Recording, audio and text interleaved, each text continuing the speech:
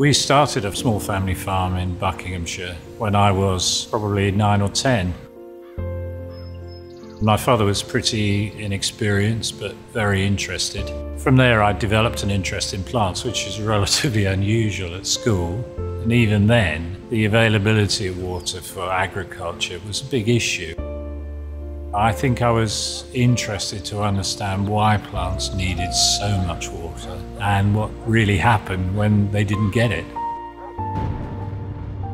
We're faced with inevitable climate change, massive problems for farmers, warmer weather, wetter weather, drier weather. We're faced with enormous restrictions in resources, and the demand for food is growing.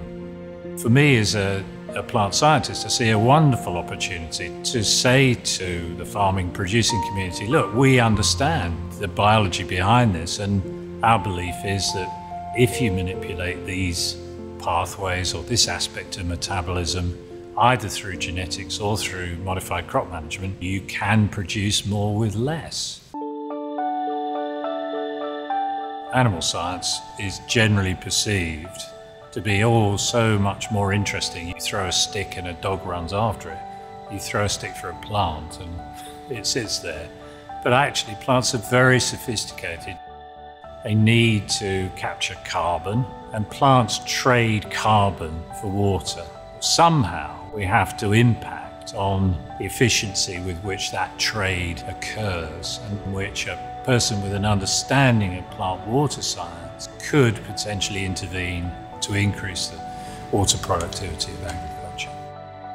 One of the other things we did here is to try to understand how variation in genetic background and, and how different varieties cope with water, how is the difference in drought tolerance.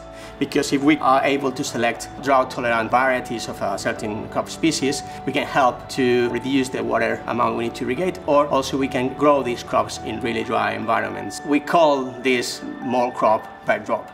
The sensitivity we have a very strong commitment to tell people about our research. We've worked very effectively over 10 years with Waitrose. We initially had a training program with them where we talked to companies that supply them with fresh produce in an attempt to raise people's general understanding of what the issues were. That work has continued, it's grown. We've had joint research funded by Waitrose, which enables colleagues to start working in the agricultural arena and exploiting their research. We run Waitrose Sustainable Agriculture website to publicise more generally interaction between science and business.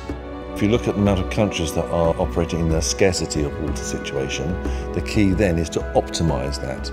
But from a company like Waitrose, what we need to know is that a grower can supply day in, day out, year in, year out, and the investments that they put in are going to come to shape in terms of food production. So it's important not just to have access to water, but to be able to utilise that water effectively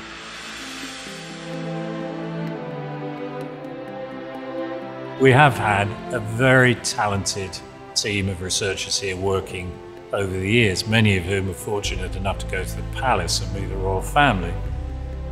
And we've been encouraged to go out and make a difference.